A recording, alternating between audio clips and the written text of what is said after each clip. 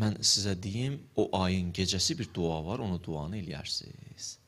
Ona duadır, məsələn, tutaq ki, 4-cü gün cümə axşamıdırsa, 3-cü gün axşam neyin? Bu duanı eləyərsiniz. Bu duanı peyğəmbər eləyərmiş. İndi siz ərəbcə bilməsəz Azərbaycanca deyin. 4-cü gün Rəcəbdirsə, axşam, 3-cü gün axşam bu duanı eləyərsiniz. Kənən nəbi izə dəxələ Rəcəb qal.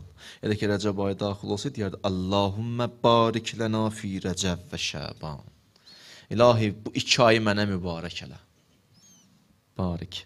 Lənə, bu Rəcəb ayı da mənə mübarək qərar ver, Şabanı da mənə mübarək elə. Davamına deyərdi, bəlliğnə Ramazan, məni Ramazana çatdır. Yəni, sən çatdırmasan, mən çatmaram ki o aya. Yəni, mənə ömür ver ki, o ayı da neyiniyim, oruç tutum. Bəlliğnə Ramazan. Allahım, Ramazan ayını nəsib elə. Dua budur. Və o gecəni əhya saxlaya bil söz nə gözəl. Əhya saxlaya bil söz nə gözəl. Elə bir ki, üçüncü gecədən dördə keçən gün. Gecə. Üçdən dördə keçən gecə. Əhya saxlamaq. Əmirül müminin deyərdi ki, ildə dörd gün var ki, o gün oruç, o günü əhya saxlamağı sevirəm. Hansı günlərdir? Buyurdu Leylətəl fitr. Fitr. O gecəsi. Qurban gecəsi. Ondan sonra deyirdi, Şəban ayının 15-i və Rəcəb ayının ilk gecəsi. Yəni, üçüncü gün gecə bir insan əgər əhya saxlaya bilsə, əhya nədir? Oyaq qalasan da, oyaq qalıb ibadət eləyəsən. Da oyaq qalıb kinoya baxmaq yoxdur. Otur neynə, biraz ibadət elə.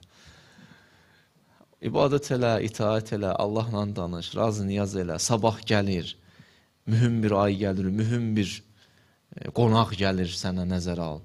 Rəcəb ayı gəlir sənə tərəf. Onu qarşıla. Və birinci günü inşallah nəsib olsa dördüncü gün, yəni qüsul almaq tövsiyə olunur. Bir, ortası və axırı qüsul almaq.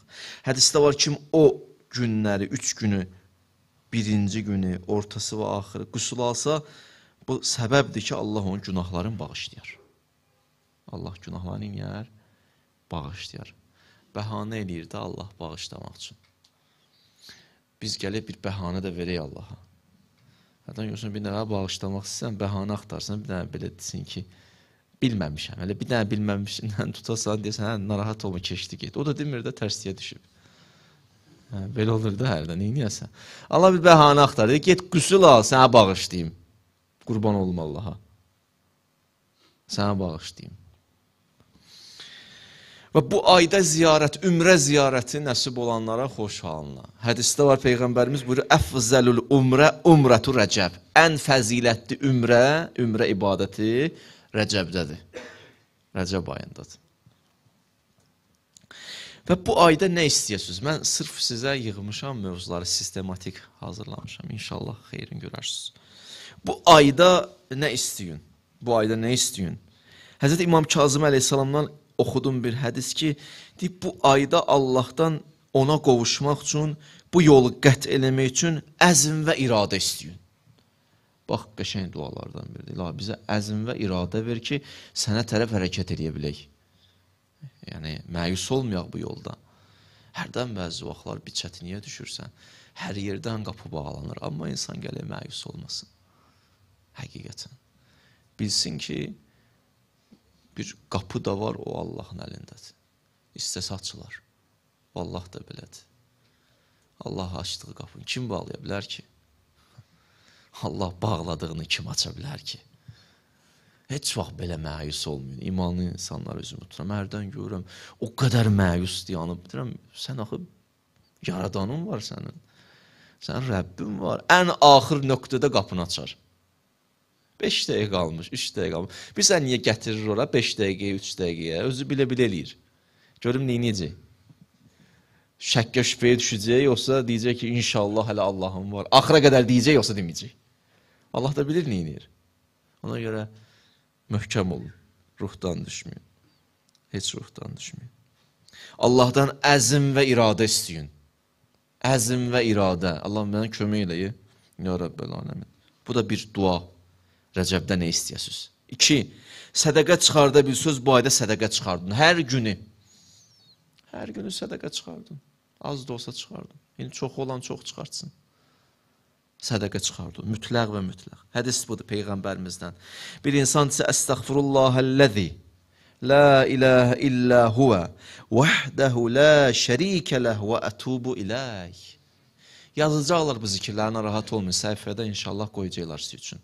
O rəsmi səhifəyə baxarsınız, ha, bütün zikirlər yazılacaq Rəcəb ayı üçün. İnşallah indidən xahiş edirəm, xidmətçilərə yazarlar. Bax, bu zikridirsə bir insan, Allahım, səndən bağışlanmaq istəyirəm, səhv eləmişəm, sənin şərikin yoxdur, tövbə eləyirəm, sonra sədəqə ilə sonlandırsa, Allah 100 şəhidin savabını verər ona. Allah 100 şəhidin savabı verər. Əlbəttə şəhidlərin də şəhidlər üçün dərəcələri var. Orada yüksəyi var, aşağısı. Hər halda hədis budur. 100 şəhidin savabını verər. İşte bu ayda ölsə, Allah ömrü versin, yaşayasınız. İndi gəldi də Həzrət Əzrail apardı. Mən, mən ona desəm ki, aparma, aparmalıyam. Sənin istəyinlə deyil. İstəyimizlə dünyaya gəlməmişik ki, istəyimizlə də yaşayaq. Elə apardı, apardı. Deyir, işli birdən Rəcəb ayında götürdü, apardı. Allah deyər, mən bundan razıyam. Da bundan hesab kitab bağlandı. Bu Rəcəb ayında oruç ibadət edib. Və bu zikr edib. Bu zikri və sədəqə çıxardırmış. Sədəqə çıxardı. Bu tövsiyəm. Keçim oruca. Bu ayda nə qədər bacarırsınız oruç tutun. Yəni peşman olacaq. Tutmasaq. Peyğəmbərimiz belə buyurdu. Buyurdu, mən samə səlasətə əyyam. Üç gün oruç tutsuz. Rəcəb ayının üç gününü tutsuz. Kətəballah ləhu bi kulli yevmin siyamə sənə. Allah hər gün və bir ilin orucun yazar. Yəni bir günə bir il. İki günə iki il. Da maşallah. Üç gün deyirəm mən sizə. Üç gün Rəcəb ayında oruç tutsana üç ilin orucu yazılır. Davamında buyurdu, mən samə səbətə əyyam. Kim 7 günün orucunu tutsa, min rəcəb, gulliqət anhu səbətə əbvabin nar. 7 gün tutsa, cəhənnəmin 7 qapısı var deyirlər. 7-si də bağlanar. 7-si də getdi. Əgər 8 gün tutsun, hədis budur, cənnətin 8 qapısı açılar.